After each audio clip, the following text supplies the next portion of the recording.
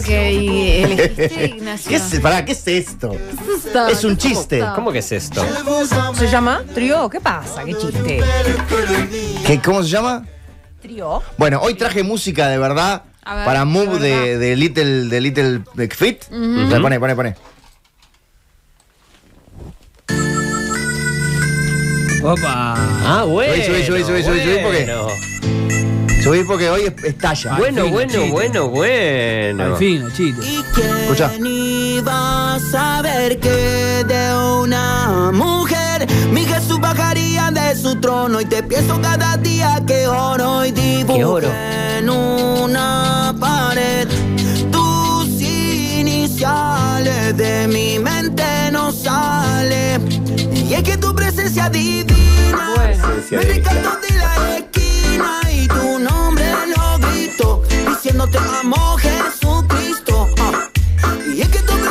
bien adaptada. De Está muy bien lograda la voz. Los fines. también, La verdad que hoy es buena música. Igual no entiendo lo de adaptada. Esto es una canción que encontré. No, bueno, Nacho, es una, una versión De de tu ¿Versión de qué? turrito. tuturrito, pero claramente con una orientación eh, cristiana, ¿no? ¿Puedo decir que Danny Ubran y El Resonante no son los originales de, No. el, de Tuturrito? Me animaría a decir que no. Y no, Y la canción que te hago es porque te pienso. Si tuviera dimensiones de amor sería inmenso. Tu vería ante todo sea desde el comienzo. No es que sea tóxico, soy un cristiano intenso. Si estoy en pánico, ensayo 40 leo. Está cambiada la letra, ¿no? Sí, está cambiada. Bueno, está cambiada la letra, dependiendo de cuál versión conocés. Me hacen gritar y todavía no No empecé. grite, no grite. Sacá, sacá el, eh, tu, tu, Ay, tu, queso turrito. Piano intenso, bueno. Bueno. Jueves, 90. Sí, hace algunas semanas en Jesús. este mismo. A ver si en algún momento digo el nombre de la película. Bueno, no lo voy a decir. Nunca lo digo. Cambio de hábito, punto. nunca lo digo, nunca lo anoto en el guion. Hace algunas semanas en este Sí. mismo espacio. Hola, ¿qué tal, señora de la producción? Hace algunas señoras, señoras en este mismo espacio. Sí. Alquilábamos un argentino en Nueva York. Ajá. Película que pueden encontrar en. eh, perdón, película, por supuesto, la pueden encontrar en YouTube, creo nada más. Sí. Pero además, columna que pueden encontrar en YouTube, de M24, en la página de la radio o, por supuesto, en la ordenadísima lista de mi blog. Cuestión que en aquella película. William Franchel, Guillermo Franchella, iba a un bar en Nueva York y era atendido por una moza que no era Whoopi Goldberg. ¿Está? Pero claramente era una Whoopi Goldberg impersonator, una imitadora contratada para que algún despistado, incluso gente que compartió esta mesa conmigo, pensara que habían contratado a Whoopi Goldberg para una película sobre Natalia Oreiro triunfando musicalmente en el extranjero, cuando era ridículo pensar en Natalia Oreiro triunfando musicalmente en el extranjero.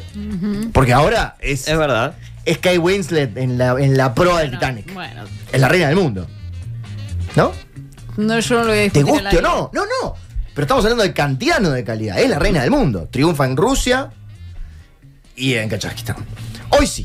Sí. Hoy vamos con la mismísima Whoopi, que su verdadero nombre es Whoppert, pero le decimos Whoopi porque la conocemos, Goldberg.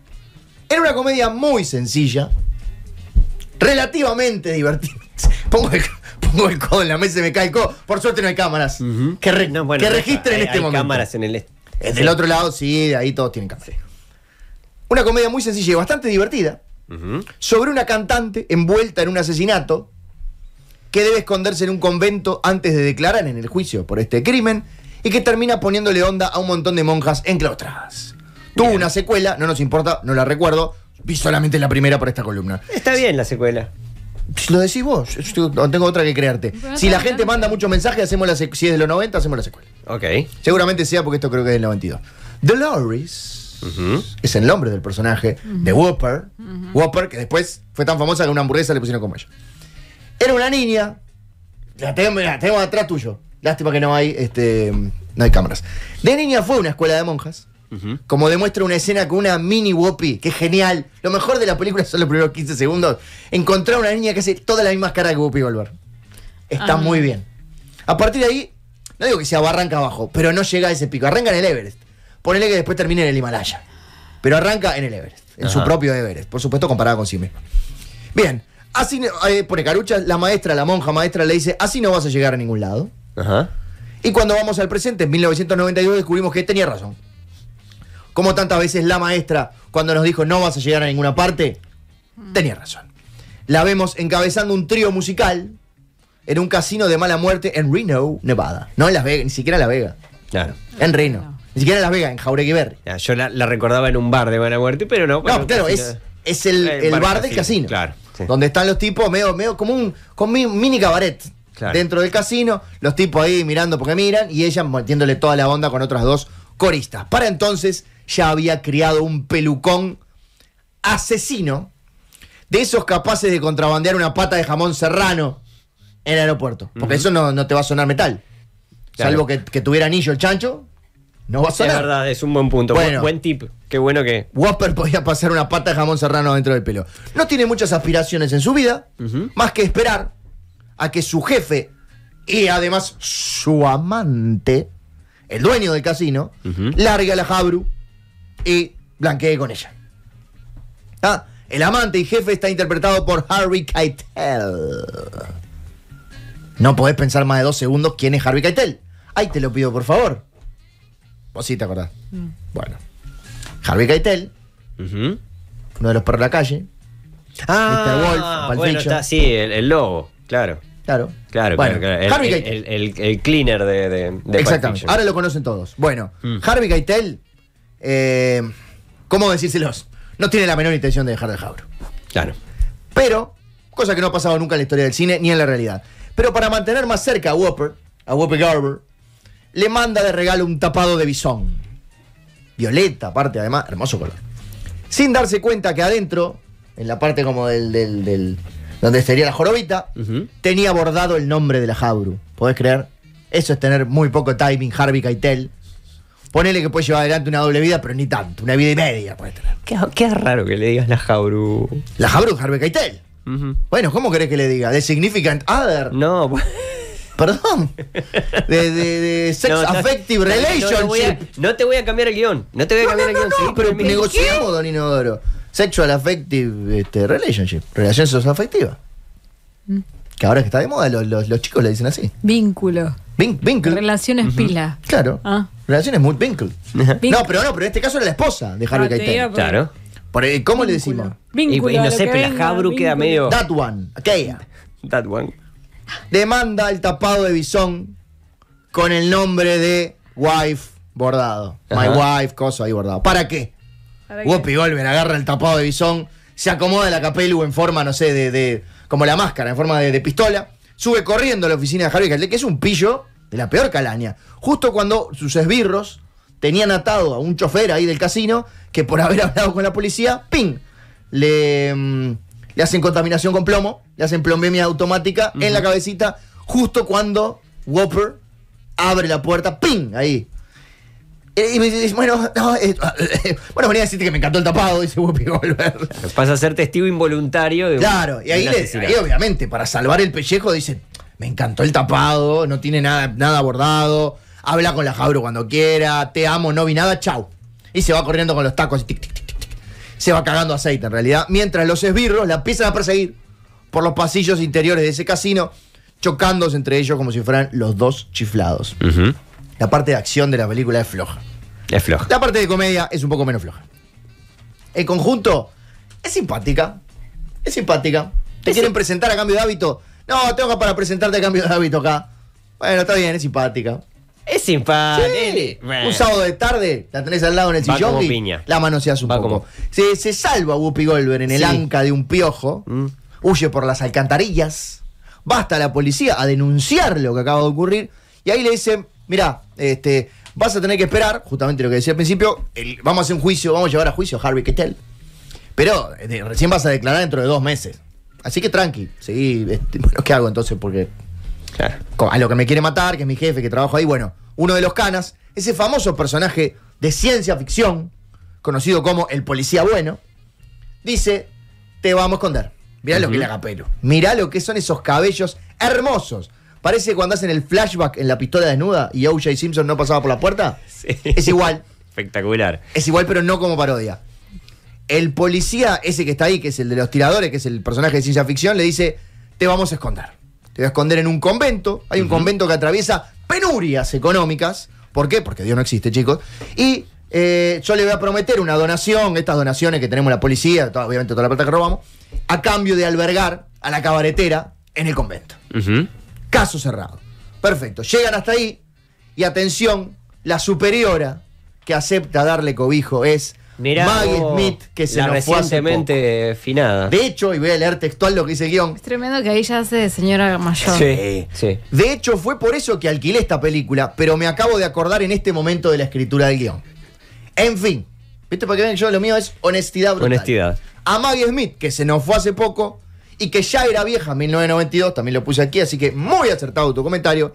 No le gusta nada tener una libertina como Whoopi. No dice que sea por su color de piel, sino por su eh, cabareteridad. Pero en los 90, y siendo en Estados Unidos, puede pasar cualquier cosa, entonces una porquería.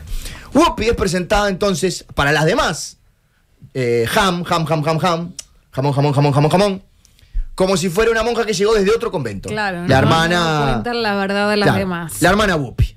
La disfrazan de monja, que no le queda nada mal, y cae justo cuando las otras monjas están almorzando. Le hacen varias preguntas. Estoy seguro de que hay una muchacha ahí, la, que, la única que está vestida distinto, ahí la ves, Sí.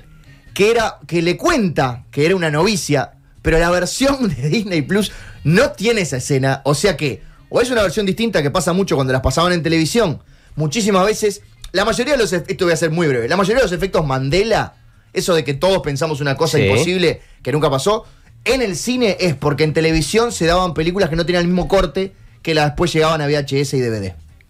Porque de repente, como había que llenar dos horas con las tandas, Es un datazo ese. había escenas, sí, esto obviamente no lo, estoy, no lo estoy descubriendo yo. Había escenas, las famosas escenas cortadas, pero algunas para la versión televisiva estaban. Pasa con muchísimas películas. Ajá. Entonces hay mucha gente que en las redes sociales dicen, vi Sister Act en Disney Plus. Había una, una este, escena en la que hablaba con la novicia y le decía, no, yo soy novicia. Y no está. Bueno, no es que estamos viviendo una dimensión alternativa, sino que era el corte de la televisión. En este caso no lo pude encontrar, pero confíen en mí. Mira si no parece perro en la calle. Les decía entonces, lo importante es que a Whopper, a Whopper Gower, ujú. no le gusta nada esa vida de sacrificios, comida sin sabor Cama incómoda. y un cuarto de minuto para dormir, así que odiaría vivir en Uruguay. Porque básicamente somos 3 millones Es casi y medio de personas atravesando la misma situación. Somos monjas ateas. Todos acá. El voto de ¿Quién más, pobreza incluido. Tenemos voto de La pobreza. ropa debe ser cómoda. Sobre todo si estás hinchada. Sí. No, y ojo, una ropa de monja para hombre. Tipo, podés, podés campanear sin ningún problema ahí abajo con toda tranquilidad. Supongo que te subirá un chijete cada tanto. Pero ni, ni es necesaria la ropa interior. Le decía entonces, no me distraigan. Vivía, se fue a vivir a Uruguay, el Whoopi Goldberg. La despiertan a las 5 de la mañana para ir a misa, un embole. Era una iglesia más vacía que, un que en un país laico, básicamente, por suerte. Y cuando empieza a cantar el coro de la misa, se da cuenta de que las monjas son malísimas cantando. Que están muy mal dirigidas. Y que cantan esa, viste, Dios está aquí, eh, tan cerca como el aire que respiro, como la mañana que se levanta. 13 años de colegio católico, chicos. A mí no me van a ganar. Eh, se da cuenta que son muy malas. Qué pena que no estamos escuchando eh, algo, porque esta es una gran eh, Sí. comedia musical. Tiene Muy, buenos muy temas. de- porque de hecho, buenos. dos de los dos, tres temas que ella canta al principio como cabaretera, Sí. después los adapta, como decían en Los Simpsons, cambiando Baby, por Dios. Ajá. y funcionan como Por canciones eso, de es canciones de la bueno. misa. Busquen la banda de sonido en Spotify, en YouTube Music, whatever eh, you are using. Se empieza a hacer amigui con las otras monjas. Porque es Whoopi Goldberg, es canchera, es simpática. Eh, hay un clip de ella limpiando, ¿no? Pero no se aguanta y llama de Canuto al, al personaje de ciencia ficción, al policía bueno, y le dice, onda, sacame de Uruguay ya. Uruguay. Mandámenos a la isla Martín García Ahora algo. me acabo de acordar Sí. que la 2 Sí. es la del concurso. La del concurso Claro. de talentos. De, de, De jóvenes. De, de la- los que van al colegio, Sí. digamos, de la escuela de canto del. del- Sí. Ya, ya está. Gracias, Q. Porque estas can- las canciones que sonaban en la película Sister Act, cambio de hábito que se puede encontrar en Disney Plus. Ah. Sacame de Uruguay, le dice Whoopi Goldberg al policía bueno, y el Ya, tipo le ya. dice: Imposible, tenemos un traidor en la comisaría. Todavía no descubrimos quién es. Mientras pase eso, vos, Canuto, total, quédate ahí. Para resistir el suplicio, se escabulle hasta un bar que había enfrente. La iglesia del convento queda en un barrio modesto, pero muy grafiteado. O sea, es un barrio lindo, eh, pero grafiteado. O sea, es cordón. Ella y dos monjas terminan bailoteando ahí en el, en el bar, pero tranqui. Y a la vuelta se topan con Maggie Smith, que se nos fue hace poco. Que la, Que se puso mala. Mala, mala, mala, mala, pero como, como monja mala. la está por rajar, se arrepiente último momento y en lugar de eso la manda al coro. Claro. Seguramente como castigo, ¿no? Como diciendo, bueno, te quedas acá, pero vas a sufrir como el resto de nosotras, anda al coro. Y en el ensayo comprueba que son un desastre, pero que tiene muchas ganas de progresar. O sea, son igual que Uruguay, en- desde todo punto de vista. Entonces lo que hace es dar un golpe cívico-religioso y se queda con la batuta, con la dirección del coro. Las ordena, las motiva, las hace ensayar a diario y en una semana pasan de ser. Esto es un temón. Sí, Sí. escucha, escucha, escucha. Pensé que estaba de, de turrito sonando de nuevo, pues son muy parecidas. Le decía entonces, en una semana, ah, pasan de ser una banda de gatos teniendo sexo a ser un Real, ¿eh? real, Sí, real. un coro fenomenal que empieza a llamar la atención del barrio, que convierte a los drogadictos en adictos a Dios, porque la mejor forma de salir de una adicción es cambiarla por otra, o casi que la única, y eso no le hace mucha gracia a Maggie Smith, que se nos fue hace poco. No le gusta que pase todo eso. No se banca un poco de... Porque aparte, ¿qué pasa? Cuando cantan en la iglesia le agregan pop. Cantan estas canciones, meten palmas, y ahí lo- el único golpe que hay que dar al cuerpo es latigazos en la espalda. Es la única Bueno, manera que Dios bueno. nos va a amar. Ujú. 13 años de educación católica, por eso hablo con conocimiento de causa. Entonces empiezan a aumentar las donaciones. El cura de la misa, justo cuando le va a echar de nuevo, Maggie Smith, que se nos fue hace poco, Whoopi Goldberg, entra el cura y dice: el, el cosito de las donaciones tuvimos que poner otro. Se llenó. Sigan haciendo lo que están Claro, la haciendo. gente empieza a ir a verlas cantar. Claro. Obviamente, después se van, cuando hay que comulgar, se van al carajo, a agarrar aparte de los sí, asientos en el bondi. Pero el show es bueno. Obvio, como en el teatro de verano que nadie ve la, la retirada de la última murga porque hay que agarrar asiento en el bondi. Eh, hubo, eh, Maggie Smith, que se nos fue hace poco, violín en bolsa, dice, bueno, quédate, seguimos así. Las monjas aprovechan este envión para salir un poco de su vida enclaustrada, salen al barrio, básicamente lo único que hacen es borrar los grafitis y encima pintan dibujos igual de horribles en las paredes, de nuevo cambiando un problema por otro. Todo está mostrando en forma de clips, porque en los 90 todavía había que hacer que las películas duraran menos de dos horas. Ahora eso sería 45 minutos de evolución de personaje, que a nadie le importa. Y se vuelven tan populares las cantoras y pintoras que las entrevistan en la tele y de pedo. Harvey Keitel no la descubre justo en la tele de la casa que la Jabru estaba mirando el noticiero. El policía sí la ve y la shit to of farts, la caga a pedo. Y tan pero tan bien están cantando las monjas que el mismísimo Papa Juan Pablo II, que todavía mantenía en aquella época la funcionalidad del cerebro y de los músculos acordes a lo de un hombre sumamente conservador del siglo XX, pide para verlas en persona porque va a visitar San Francisco, que es donde está el, el- próximamente. A propósito, hay una hermosa novela que incluye la visita a Montevideo de un papa adolescente con poderes telequinéticos, pero nadie se enteró que fue publicada. Así que ni vayan a las librerías a pedir la crisis de los 38 porque no la van a Bueno. encontrar. Maggie Smith, Sí. que, se, nos fue hace poco, Sí. exactamente. Un saludo a la familia Smith, que se nos fue hace poco porque quedó como el apellido queda compuesto. Un saludo a la familia Smith que se nos fue hace poco. Dice, bueno, viene el Papa, ahora sí, vamos a dejarnos de joder. Nada de palmitas con palmitas, nada de canciones cabareteras, volvemos a Dios está aquí, tan cerca como el aire que respiro. Tradición. Eh, como la mañana se levanta, tan cierto como yo le amo, él me ama a mí. Tradición, familia y propiedad. Y Y, no en ese orden. Listo. Hacen una votación, pierde la votación. Maggie Smith, que se nos fue hace poco, renuncia al convento, porque así las cosas no van a funcionar nunca. Mientras tanto, el policía bueno, que es como decir el caníbal kosher, le manda un cheque con la donación al convento, pero deja el cheque arriba de la mesa y el policía traidor ve la dirección que dice convento, San Francisco, donde están los ¿Y grafitis le avisa a Harvey Keitel para que vayan a matar a Whoopi. En realidad no la van a rata, matar. el soplón. El soplón. No la van a matar. Eh, llegando al final de esta apasionante aventura musical y policial, los esbirros de Harvey Keitel la secuestran en realidad. La secuestran en San Francisco y se la llevan hasta Reno. Porque el malo quiere dar su tradicional discurso antes de matarla. Porque si para algo sos malo, es para contarle al que vas a matar por qué sos malo y por qué lo vas a matar. Las monjas descubren lo que está ocurriendo. En una, en una linda escena, le, le- eh, consiguen que un piloto la lleve, aplicándole toda la culpa judío-cristiana.